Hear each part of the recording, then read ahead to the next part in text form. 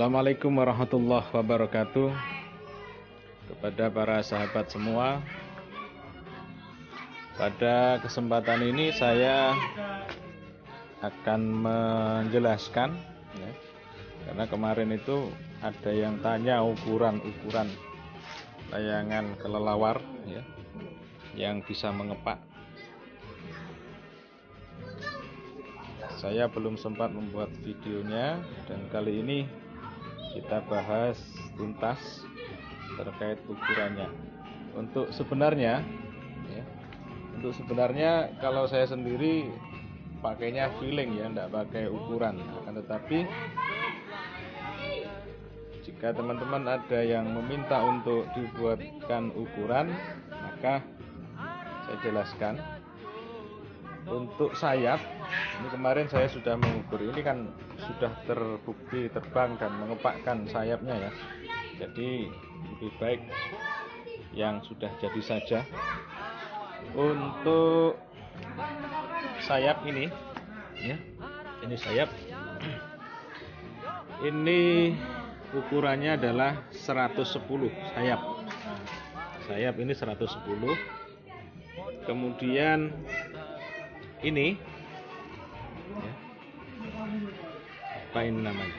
Uh, tiang yang melekat di sayap. Ini ukurannya sama persis dengan sayapnya ya. 110 cm jadi sayap sayap atas dan sayap tengah ini ini dan ini. Ini ukurannya sama 110 cm sedangkan untuk yang naiknya ini ini ukurannya 23 cm ya. 23 cm kemudian untuk untuk badannya untuk badan badan tengah ini ini ukurannya lebih pendek yaitu 97 cm 97 cm kemudian kepala ini yang saya eh, saya ukur kemarin itu adalah 25 cm ya 25 cm jadi saya ulangi lagi untuk sayap atas dan yang melekat di tengah ini.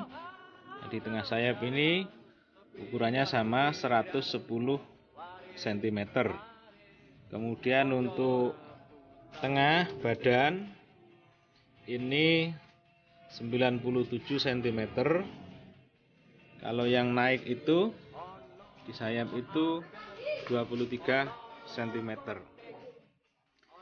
terus hal yang penting saya sampaikan adalah sebisa mungkin kalau sahabat-sahabat sekalian, rekan-rekan sekalian membuat layangan seperti ini,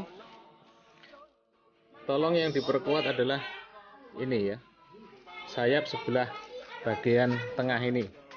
Ini kalau bisa tebal kemudian menipis ya, tebal kemudian menipis, kemudian ini palang ini, ini harus yang kuat, yang besar karena jika hanya ini saja maka tali yang ini sampul yang ini akan tidak kuat menahan ya.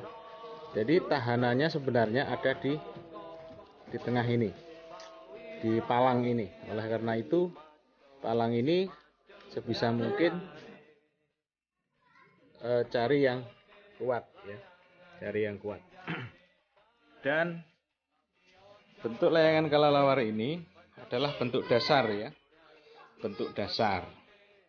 Bagi teman-teman sahabat-sahabat sekalian yang kreatif tentu akan bisa membuat bentuk yang tidak sesuai dengan bentuk dasarnya artinya dipola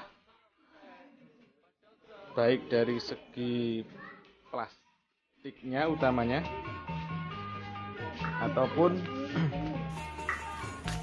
ya dari segi plastiknya ya. Jadi digambari atau dan sebagainya itu itu bisa di dimanipulasi sehingga bentuknya bisa menjadi lebih mirip dengan kelelawar. Kalau seperti ini kelelawarnya ya kurang kurang pas ya.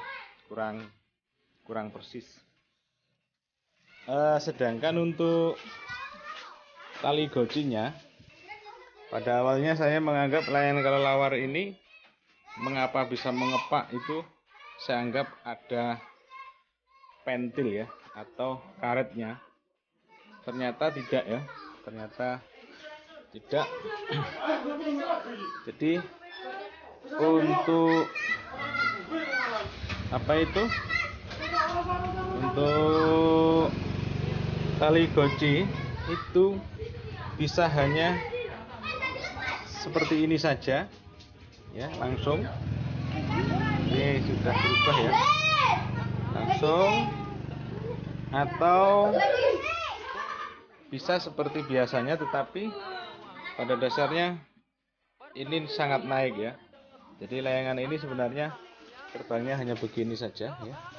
Hanya begini.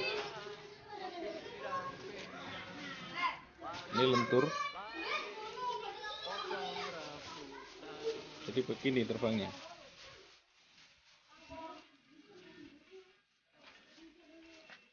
Kalau prosesnya menurut saya itu karena bawah terletak angin ke atas kemudian setelah seperti ini sayap yang ini terterpa lagi ke sini ya jadi akhirnya begini.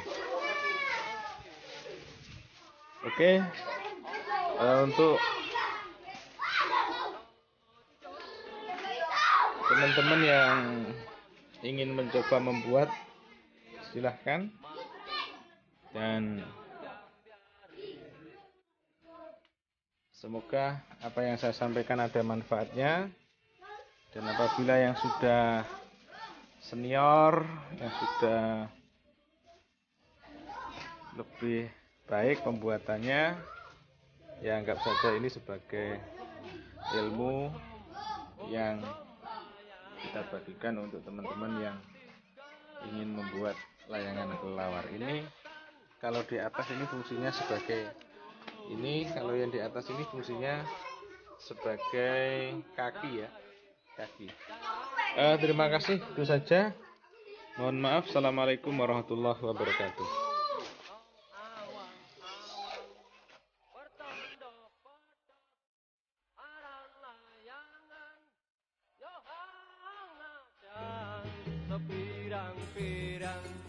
Sing subscribe tak dungakne rezekine akeh.